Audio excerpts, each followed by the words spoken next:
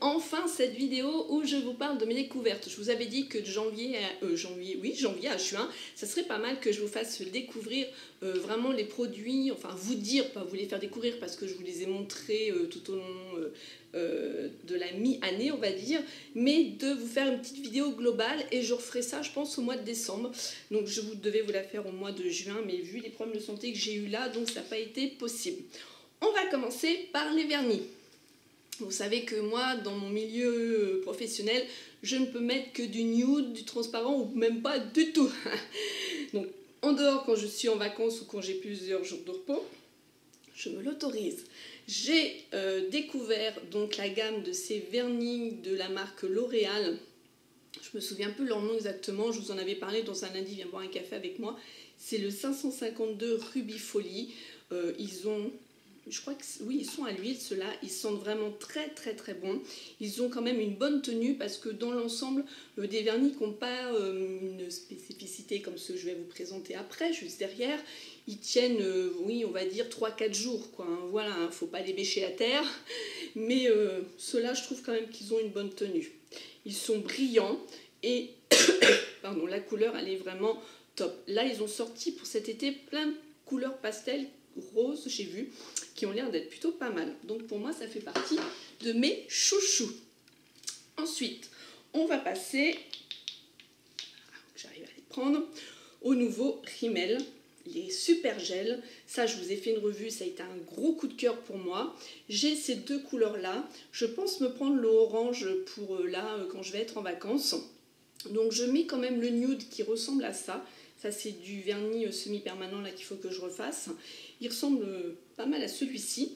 Et le but, en fait, euh, c'est qu'avec ce super gel, ça permet de... Enfin, on peut garder notre manicure environ 14 jours et d'une brillance. Chez moi, ça fonctionne très bien. C'est une belle découverte. J'en suis vraiment contente. Si j'y reprends, je vous mets la revue là.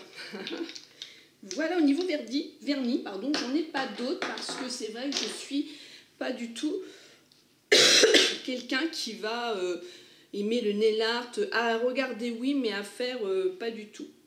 Je vais couper mon téléphone parce que c'est pas bien. Voilà. Ensuite, on va passer au niveau teint. Je vous ai fait euh, deux revues sur les deux produits que je vais vous présenter au niveau teint et j'ai un anti-cerne alors, le premier produit, ça a été un gros, gros, gros coup de cœur. C'est l'hydrance optimale, le perfecteur de teint de chez Aven, où ça, c'est un produit, c'est sûr et certain que je, que je rachèterai dès qu'il sera terminé. Je vous ai fait une revue aussi dessus que je vous mettrai. Euh, je vais passer les détails, hein, sinon la vidéo va durer très très longtemps, mais ça c'est un produit must pour tout type de peau, franchement, tiens, bah voilà, on va passer au suivant.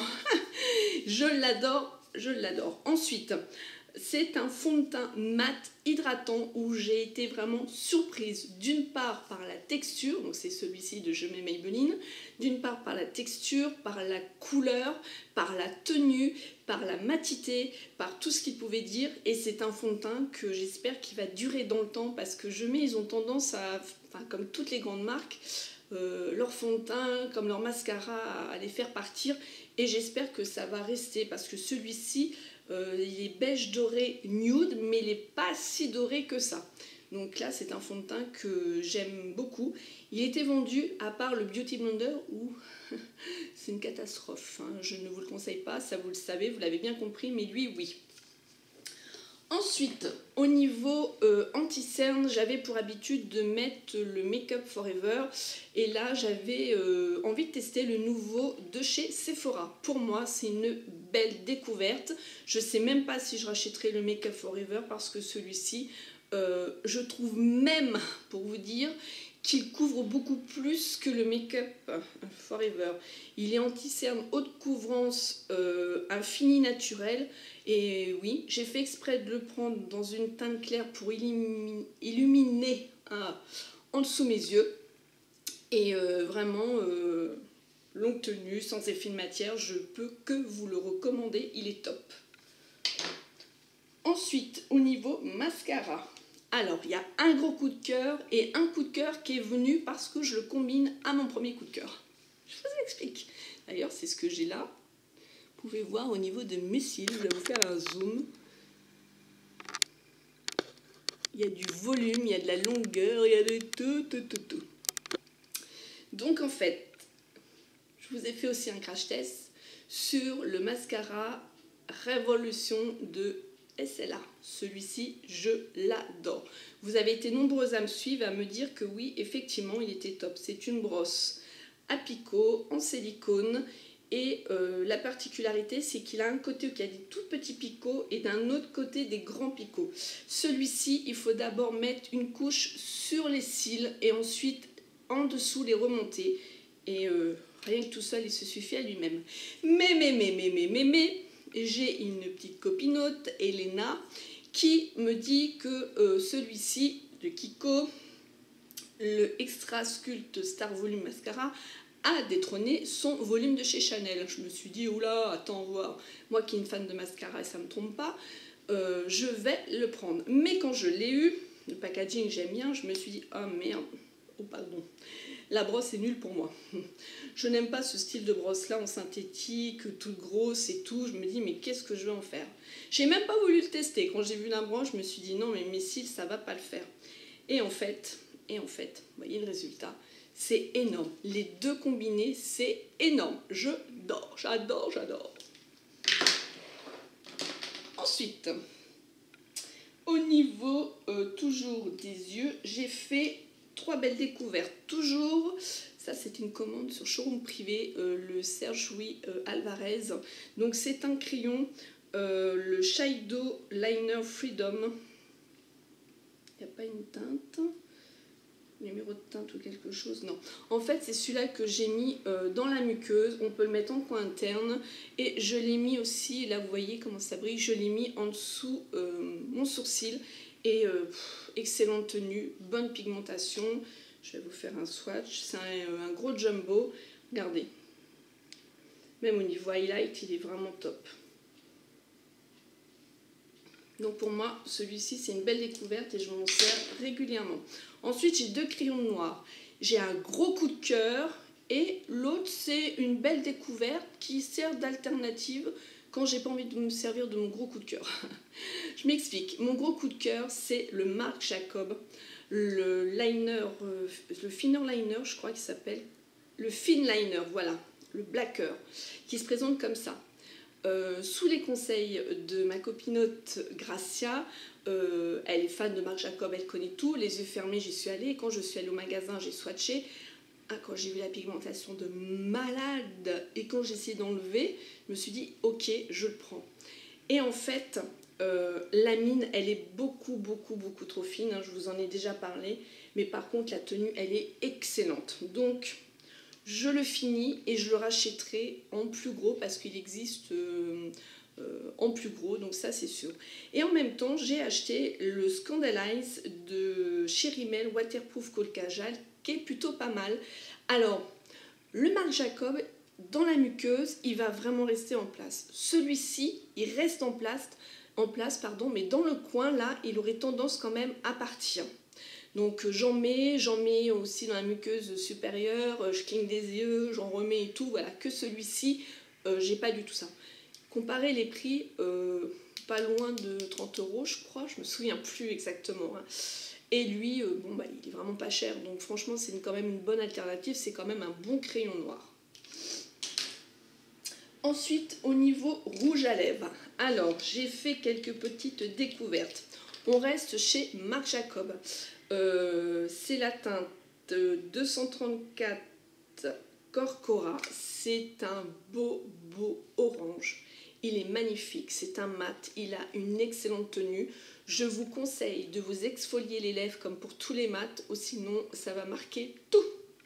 moi c'est ce qui se passe. Hein. Donc euh, maintenant euh, je mets un peu de sucre, un peu de miel, ça coûte rien. Si je sais que je vais mettre quand, dès que j'ai choisi en fait mon rouge à lèvres, hein, parce que des fois je ne le sais pas à l'avance mais vous pouvez voir que je l'ai quand même bien utilisé. Je l'applique aussi au pinceau, parce qu'il y a quelques fois, euh, j'ai envie d'une couleur flashy, mais qui est un petit peu temporisée.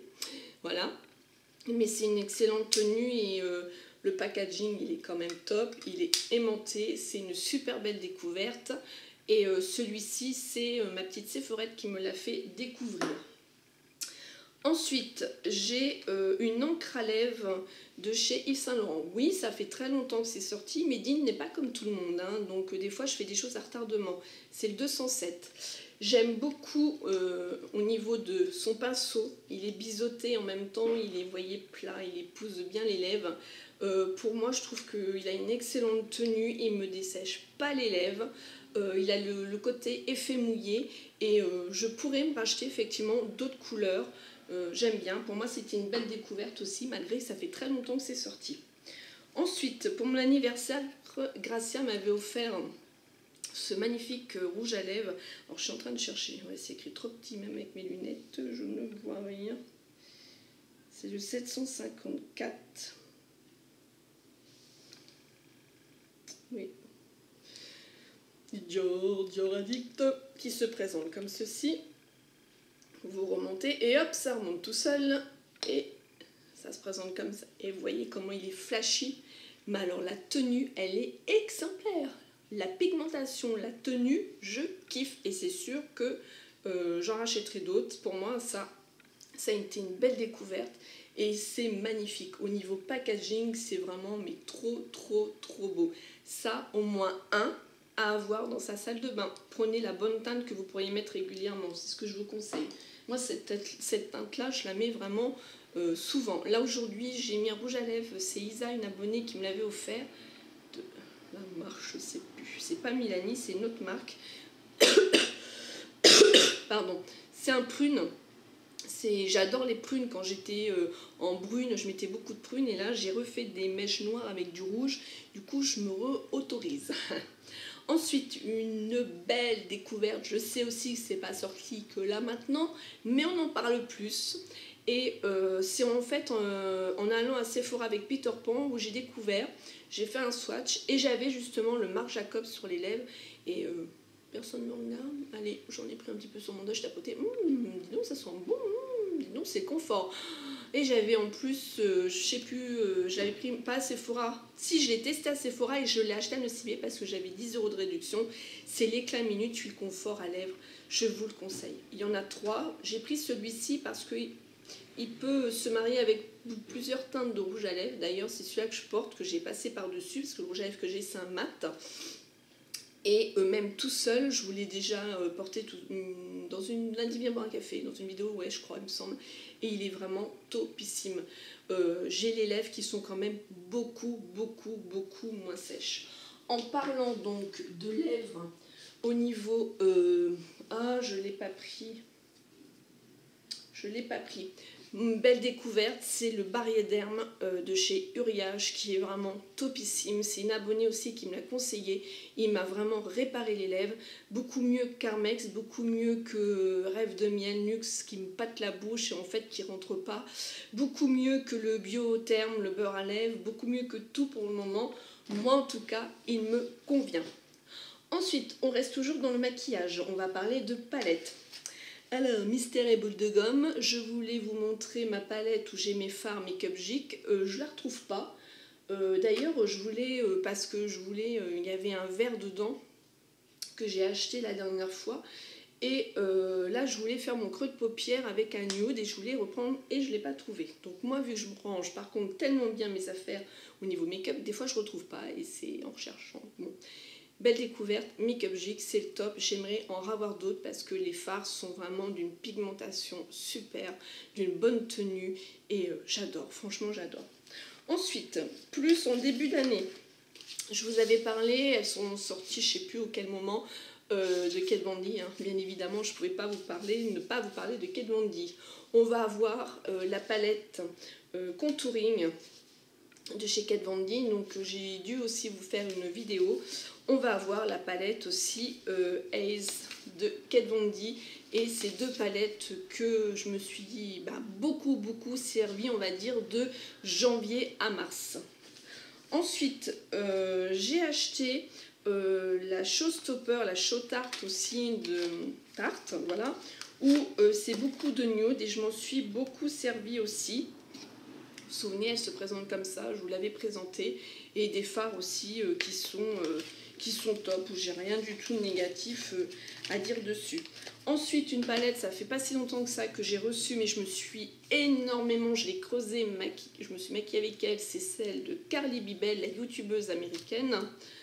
Voilà, qui se présente comme ceci. Comme vous pouvez voir, les fards, ils sont vraiment creusés. J'ai fait pas mal, euh, voilà, avec les highlighters, les bronzers, tout ce que vous voulez. Et là, depuis qu'elle est sortie, je ne vois que par elle, je me maquille que avec elle. En ce moment, bon, je mets que beaucoup de mascara et euh, je fais la muqueuse couleur chair, mais sinon, quand je reprends une palette, c'est celle-ci. Depuis qu'elle est sortie, mais pour moi, c'est comme euh, ça m'a fait ça avec la Nikid 1, où je me suis maquillée très longtemps avec la Natural Haze de chez Too Faced et la troisième palette que je kiffe d'amour et que vous voyez elle, se creuse hein, que je me maquille vraiment euh, tout le temps avec elle et que je reprends c'est celle-ci. Un gros coup de cœur elles sont toujours bonnes. Autant euh, la bonbon je ne l'ai pas achetée parce que ça m'intéressait pas et j'ai décidé d'arrêter de collectionner les palettes en fait d'être beaucoup plus raisonnable et d'aller vraiment dans une palette qui me fait vraiment trop envie et que je sais que je vais vraiment utiliser. Parce qu'en fait, moi, je me suis dit, chacun fait ce qu'il veut, mais ça sert à rien, même si j'aime le maquillage, mais que je collectionne et que ben, je m'en sers pas. Je préfère acheter vraiment euh, quelque chose comme là, vous voyez, euh, c'est un certain coût quand même, un rouge à lèvres Dior ou Yves Saint Laurent, toujours avoir des petites promos, mais vraiment me faire plaisir. Et je sais que je vais m'en servir euh, régulièrement. Et ben là, voilà, celle-là, quand j'ai vu les swatchs, je me suis dit, c'est mes teintes et je sais que je m'en servirai. Donc ça a été vraiment le gros coup. Il y en a d'autres qui sont sortis de Too Faced que non. Urban Decay, pareil. Donc là, voilà.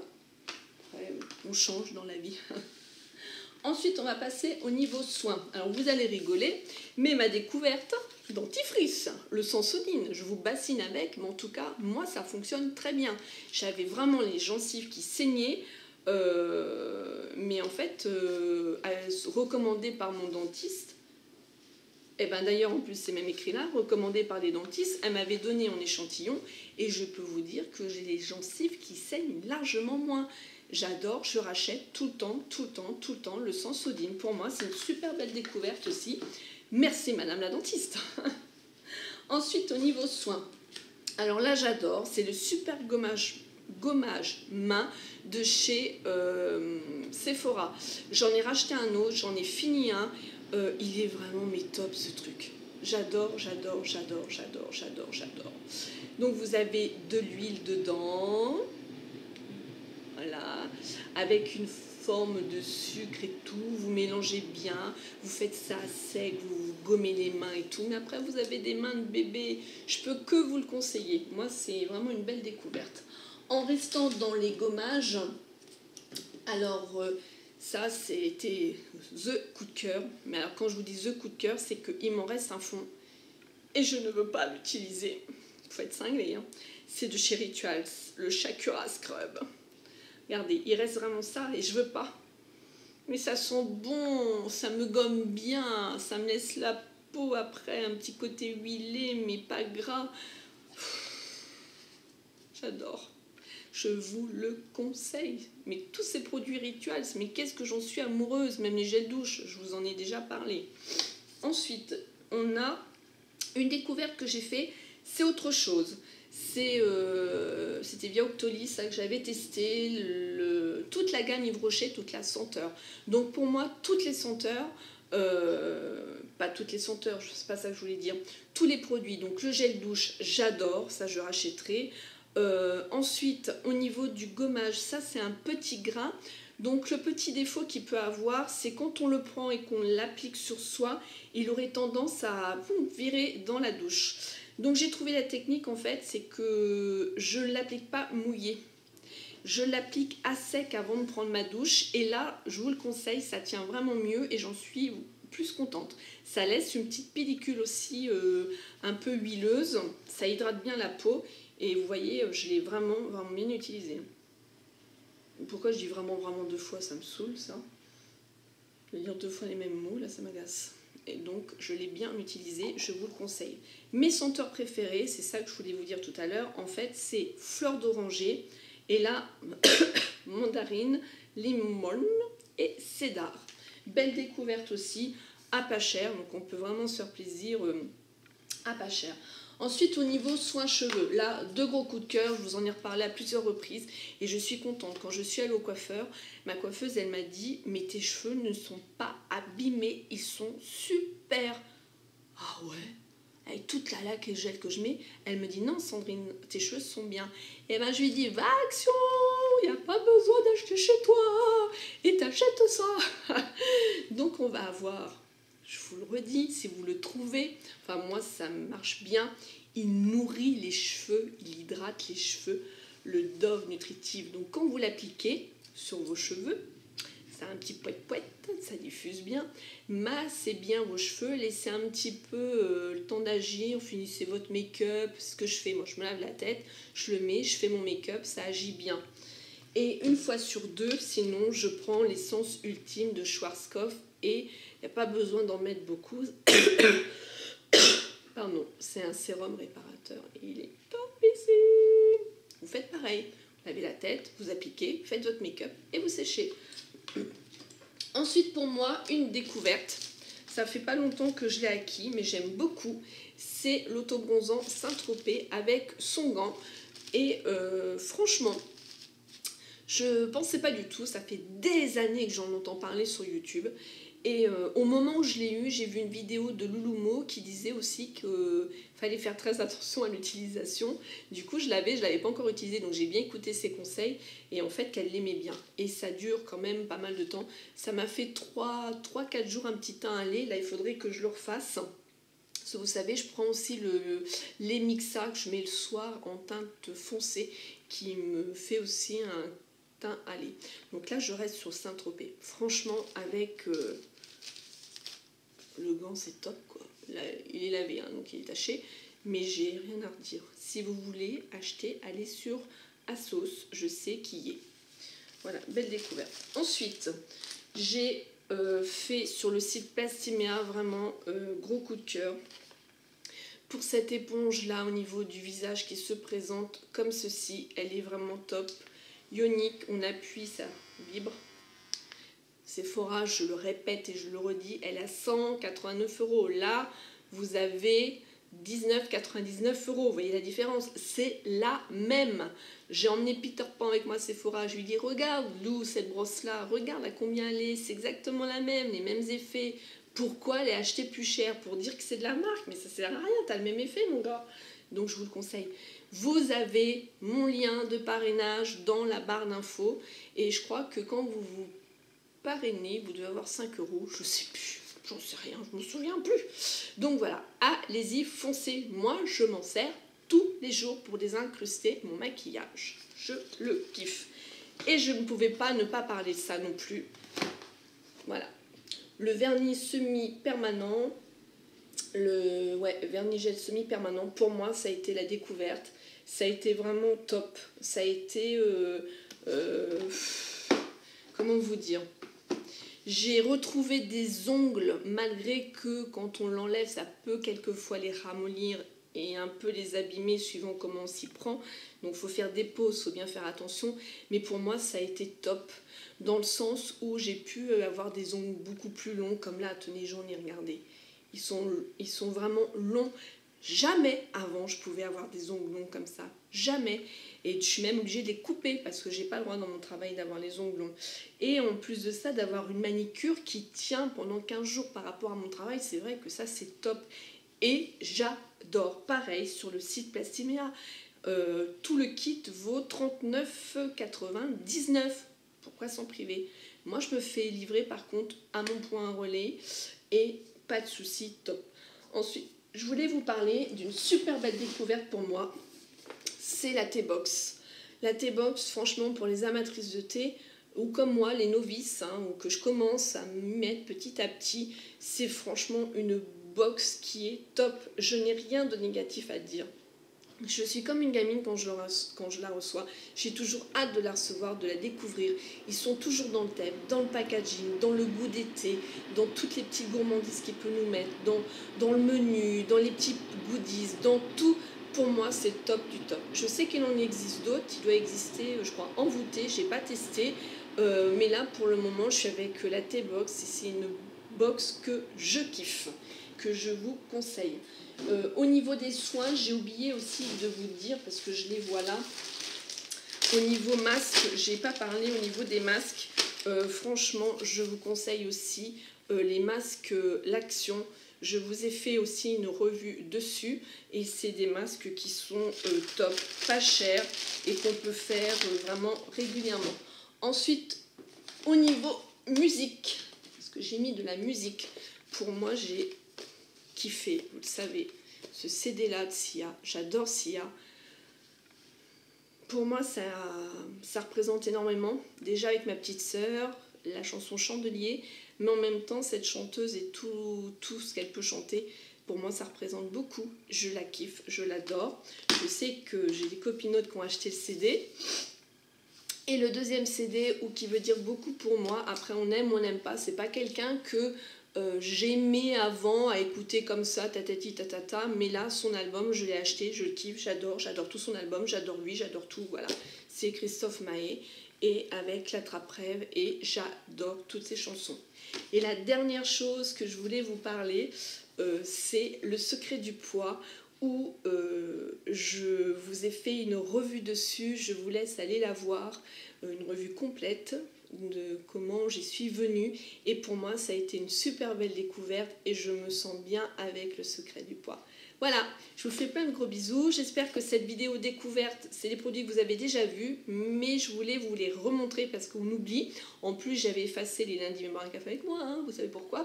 Donc, c'est des produits que je présente souvent dans les lundis viens boire un café avec moi. Donc, Là, vous les revoyez dans une même vidéo et euh, je pense que je referai la même chose en fin d'année parce qu'il va sûrement y avoir d'autres découvertes.